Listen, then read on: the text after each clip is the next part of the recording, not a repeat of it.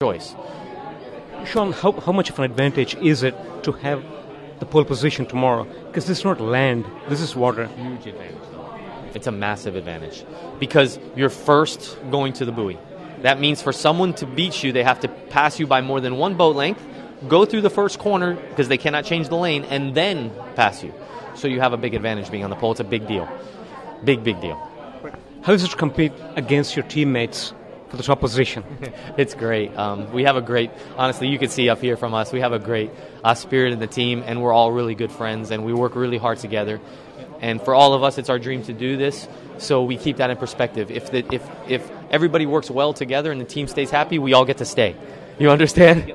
we don't want to make a problem. So so like this, it's good. And the second thing is good. We all have information. So after the the, the free practice, we, we share the information. We look at the computer. We talk about the propeller and make better. What do you think of the city, the Vijayawada itself, the people, the people? I, I'm I am not kidding. I am blown away by this country. I've never been to India before. Um, one of the crew chiefs for Thani is Indian. His name's Felix. He's with us, and he also helps me in offshore. He's my crew chief in offshore, where we won the world championship this year in XCAT. And um, I didn't know what to expect. Okay, I'm worried about you know the food, and that I love Indian food, but I'm from America. American Indian food might not be the same, you know, because it's not in China. So I come, but but really, what I'm most blown away by is the, the spirit of the people. It is what seems to me to be chaos on the streets. No one is ever angry. Everybody is smiling. If, if two cars pass, it's no problem. In, in U.S., everybody be shooting each other. It's incredibly, it's, and I tell my, my wife, we have literally everything we could ever want in U.S., and most people are not as happy as they are here. It's, it's really incredible. And for this, I want to bring my daughter, I want to bring my wife so that they can see.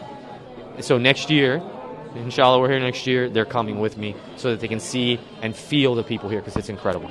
Yep. Shaun, we wish you all the very best for tomorrow. So let's see if you're going to open the champ- bottle of champagne tomorrow. All right. Congratulations. Marit Stromoy, you've given an absolute surprise at the very end. Like people were saying earlier, it was completely unexpected. Was the strategy deliberate? Did you plan the best for the last?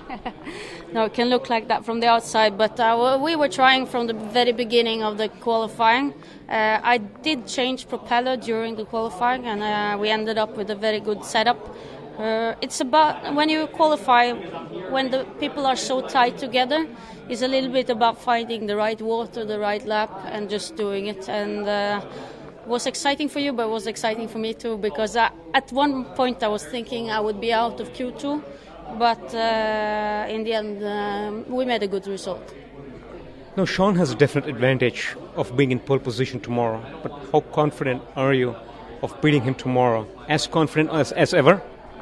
Yeah, for sure. I mean, everything is possible. The race is long, it's uh, 45 50 laps for sure, and uh, uh, the thing is, the first corner is important. Uh, it's important to stay out of trouble, but it's important also to be uh, to be uh, very eager to, to get in. And um, we just have to see tomorrow. I can plan this for the whole night, but at the end of the day, when I come to the first corner tomorrow, we'll see what happens.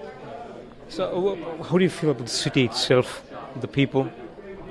Uh, it's been a wonderful experience so far. Uh, we had a boat parade through the through the city uh, the other day, and and there was thousands of people smiling, clapping, applauding, uh, uh, kids, grown ups, everything, and it's such a nice place to be. And we've been all over the world uh, with this concept, and I'm really liking this place. So, Mr. Stromoy, is it possible for you to beat your own speed tomorrow?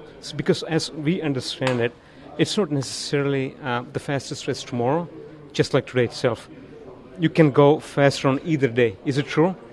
Yeah, today is all about winning the qualifying you do with having the best lap, lap time, one lap.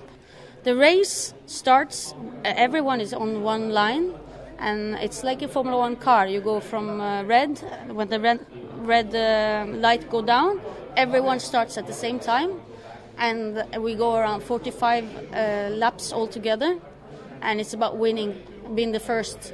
So uh, what you've seen today might be confusing for someone that does not understand the concept, but tomorrow it will be very clear who is the winner, who's not, because everyone will start at the same time. The race will take place for like 45 minutes, and uh, after we see who's on top of the podium. It's Stromoy. Um, wish you all the very best for tomorrow for the Grand Prix race. Thank you.